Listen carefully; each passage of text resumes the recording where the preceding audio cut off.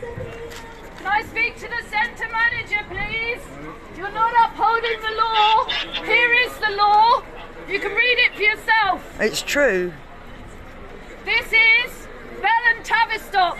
This is Bell against the Tavistock and Portman NHS Foundation Trust. It specifically says that children under 18 cannot give their informed consent to experimental medical treatment and you need to go to the court to get a declaration. It says it here. Come and read it. This is the own NHS Trust. You're breaking the law.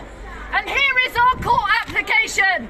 We're going to court next week. You've already received the pre-action protocol, and yet you're still injecting children. Yeah. That's against the law. It is. It's illegal, it's unlawful, it's immoral, and it's unethical. Yeah, and you will door, be held lock the door. responsible. You will be held accountable for the death and the injury you cause.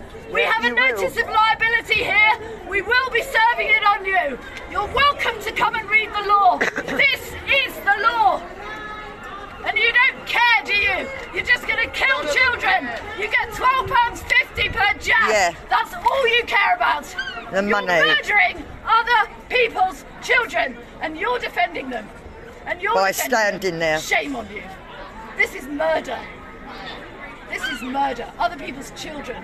And you're standing there. Are you under your oath? No. Are you standing under your oath? Of course not. You're required to answer. You are a public servant.